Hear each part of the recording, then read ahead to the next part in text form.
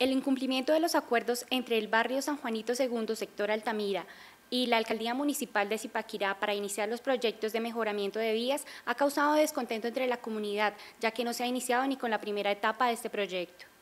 Sí, señor periodista, tenemos Hemos hecho, eh, hemos hecho reuniones con el señor alcalde, el doctor, el doctor Marco Tulio Sánchez Gómez, y hemos llegado a unos acuerdos. El día, 20, el día 20 de enero del 2014 hicimos una reunión en la oficina de él. Llegamos a esos acuerdos de que él iba a pavimentar, se iniciaban las obras el día 20 de enero.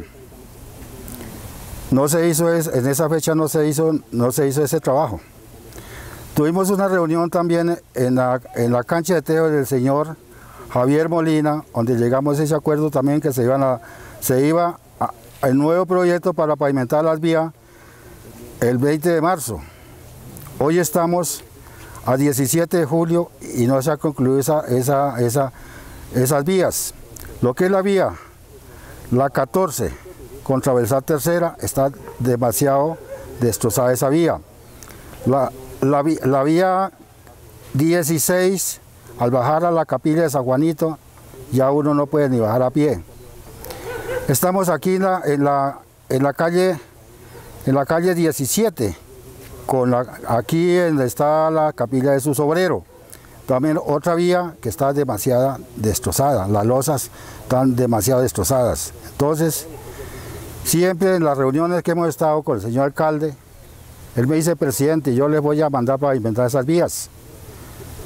Pero en el momento no hemos recibido ninguna contestación.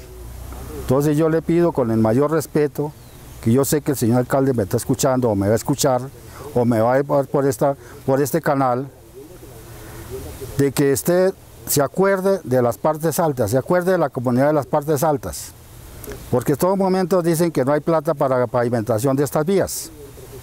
Yo sé que sí podemos recoger un poco recursos, porque si hay plata, para el asunto de la pavimentación de los andeles, de, de, la Universidad para acá, todo eso de lo que es la 15. si hay plata para eso y en otras vías, ¿por qué en estos sectores de las partes altas no, no hay plata para estos proyectos? Entonces, yo creo señor alcalde, que vuelvo y le repito, de que con el mayor respeto que usted merece y lo ha merecido, y usted es una persona en que nos desea colaborarnos y seguimos este proyecto.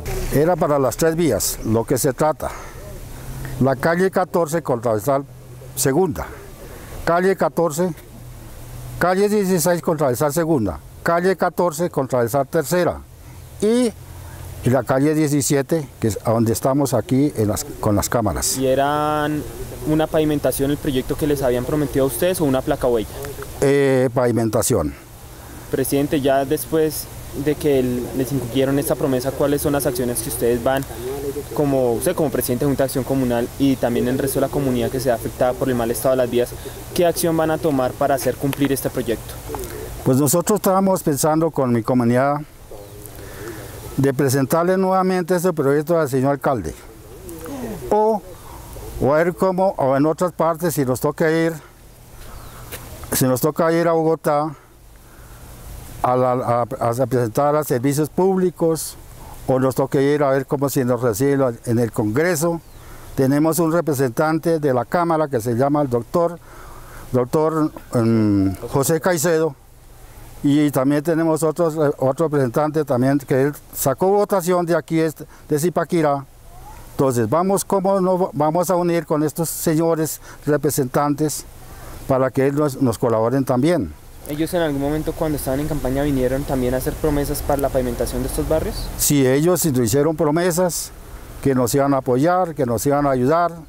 También los señores concejales ellos cuando vienen a cuando ya hacen las, la, mm, cuando van a hacer ya la campaña, vienen a los barrios de las partes altas, ahí sí no, miren, nosotros les vamos a apoyar, los vamos a ayudar, voten por nosotros, que nosotros sí en este periodo les vamos a ayudar.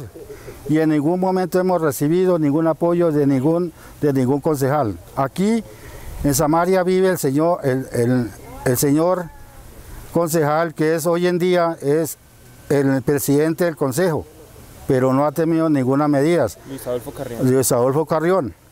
Él no ha, tomado, no ha tomado ninguna medida de estas partes altas. Como, como presidente del consejo debía reunir a estos barrios partes altas y presentar estos proyectos. Bueno, pues, colaborarnos. Ahora también hay otro señor que es concejal que ya va a salir pensionado, que lo nombro muy claramente, que el señor Nicolás Moragón. Él dice que ayuda a las partes altas, pero es una gran mentira, él no colabora con nada. Entonces, ahí estamos. Vamos a pasar en, nuevos momentos, vamos a revisar las vías, cómo está, y le vamos a presentar eso al señor alcalde para que el señor alcalde tome cartas en, esto, en estos. Porque estos, reuniones y reuniones, y siempre nos dicen, ya está el proyecto. También le pasó un proyecto para el arreglo del salón comunal. Y ese es el momento que no, no se ha metido mano. Me llamaron hace más, más de un mes de que el proyecto ya estaba, que ya se iba a hacer el trabajo, y este momento que hemos recibido ninguna contestación de nada. Sí, tuvimos una reunión aquí en las canchas de tejos del señor Javier Molina. ¿Y cuál fue la respuesta que le dio? Y la respuesta que nos dio el señor alcalde, que sí iba, sí iba a implementar esas vías.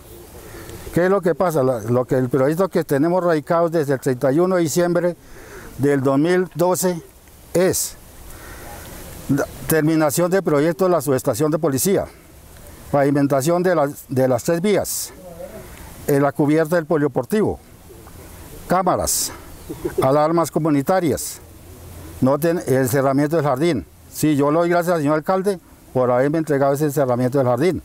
Sí, en eso sí estoy contento y mi comunidad está contento porque de ahí han nacido muchas que no hemos tenido mucha inseguridad. También le pido el favor, señor alcalde, usted como mandatario de, la policía, que le, pongamos mano fuerte a estas partes altas, señor alcalde. Yo he tenido reuniones ya, tuve reunión el sábado pasado con, con mi coronel Fernández y él me recibió muy bien, hablamos con él, me mandó unas patrullas, en estos momentos ha venido, ha venido la policía actuando muy bien y creo que no se vaya, no dejamos caer nuevamente esta seguridad que tenemos. Entonces, señor alcalde, por favor, mírenos y póngase la mano en el pecho y ayúdenos en estas partes altas. Muchas gracias.